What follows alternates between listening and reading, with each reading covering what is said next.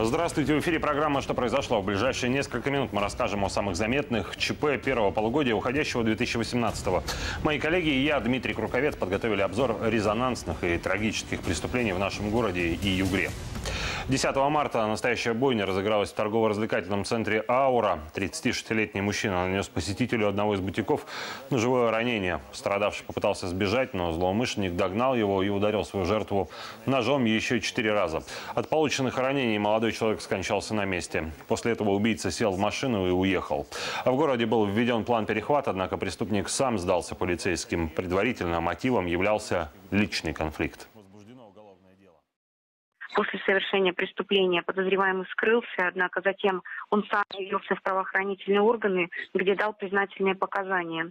В настоящее время мужчина задержан. По уголовному делу проводятся следственные действия, направленные на выяснение всех обстоятельств и мотивов произошедшего. Решается вопрос об избрании в отношении задержанного меры пресечения в виде заключения под стражу.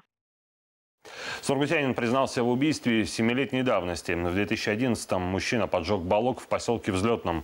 В огне тогда погибли четыре человека. Женщина, две ее дочери и полуторагодовалый внук. В позапрошлом году обвиняемый написал в Москве явку с повинной и сообщил, что именно он подпалил тот самый вагончик. Факт, по которому было возбуждено уголовное дело, обнародовали только в начале 2018-го.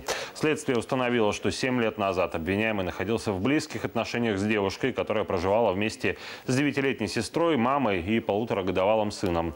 В конце августа у пары произошел конфликт. Вечером 2 сентября 2011 года обвиняемый поджег барак, где мирно спала семья возлюбленной и она сама. По словам мужчины, он хотел напугать подругу и был уверен, что она сможет выбраться из горящего дома. В феврале 2018 суд вынес приговор 16 лет колонии строгого режима.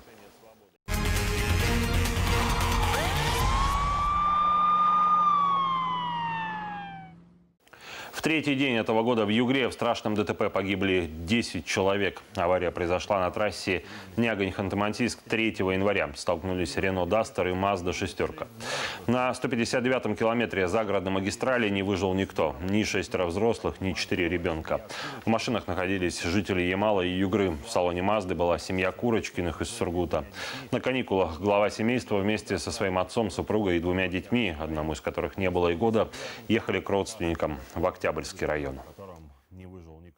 11 января жесткое ДТП также унесло жизнь человека. У развязки на выезде из Сургута в сторону Нижневартовска столкнулись Toyota Corolla и Mitsubishi Lancer. По данным ГИБДД, водитель праворука иномарки, двигавшийся из Когалыма в наш город, не справился с управлением. Его машину вынесло на встречную полосу под Тойоту. Удар пришелся в правую сторону Mitsubishi, где как раз и находился автомобилист. Его зажало в салоне. Извлечь пострадавшего удалось только с помощью спасателей и специального гидравлического оборудования. За жизнь мужчины мужчины в реанимобиле около часа боролись врачи скорой помощи. Его состояние на некоторое время удалось стабилизировать, но в больнице 27-летний мужчина скончался. ДТП, от которого кровь стынет в жилах, произошло 6 февраля. Утром на улице Энергетиков между пятым и седьмым домами мусоровоз насмерть сбил первоклассника. До учебного заведения мальчик не дошел буквально 100-200 метров. Водитель пропускал машины справа и не заметил, как ребенок подошел к спецтехнике. Тронувшись, машина бампером зацепила мальчика за портфель и его затащила под колеса. КАМАЗом управлял 51-летний мужчина. Позже он пояснил, что не увидел ребенка. В администрации Сургута после трагедии прошло внеочередное заседание комиссии по обеспечению безопасности дорожного движения. Итогом встречи стало решение рекомендовать коммунальщикам проводить уборку территории, вывоз мусора и другие работы, связанные с привлечением тяжелой техники, в любое время, кроме утреннего часа пик с 7 до 9 утра. К слову, часть управляющих компаний к рекомендациям прислушалась, а часть нет. Их мусоровозы до сих пор рассекают по дворам в ранние часы. Также на заседании управляющим компаниям компаниям и подрядчикам рекомендовали закупать современную технику, на которой установлены зеркала, позволяющие видеть мертвые зоны автомобиля. В сентябре по факту ДТП состоялся суд. Виновник аварии, водитель КАМАЗа, получил срок в два года условно с лишением права управления транспортными средствами на это же время.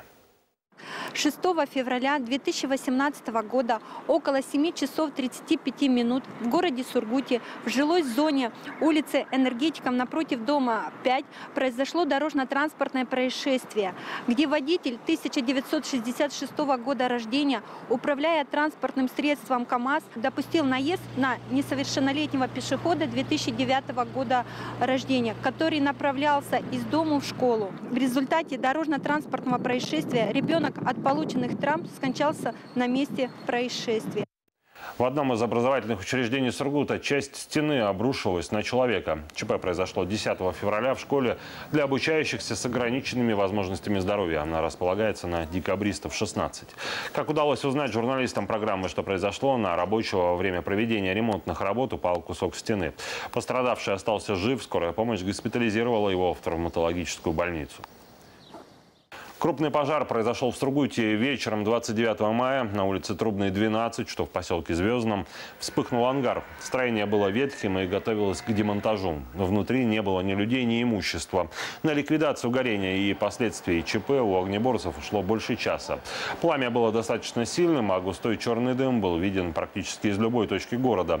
Тушили пожар три единицы техники и 9 человек личного состава.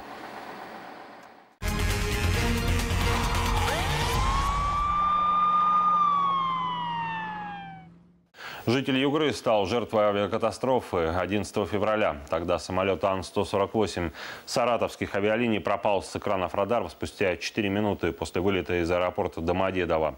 На борту находился и Александр Сергошко. 30-летний вартовчанин был одним из 65 пассажиров, которые направлялись из Москвы в Орск. В катастрофе погибли все, кто находился на борту лайнера. Это 71 человек. Причиной ЧП стала ошибка экипажа. Пилоты не включили обогрев датчиков определения скорости. Во время набора высоты произошло их обледенение. Как следствие, командир получил неверные сведения о падении скорости и перевел воздушное судно в пикирование, чтобы ее набрать. Угол наклона судна был превышен, самолет потерял управляемость. В Югре на вертолетной площадке потерпел аварию Ми-8. ЧП произошло в районе поселка Пойковского Нефтеюганского района 18 июня. Борт, принадлежащий компании «Конверсавиа», начал взлет с местной стоянки. На видео камеры наблюдения попал момент происшествия. Ми-8 задел лопастями административное здание. Воздушное судно получило повреждения хвостовой балки. Лишь по счастливой случайности в этой аварии никто не пострадал.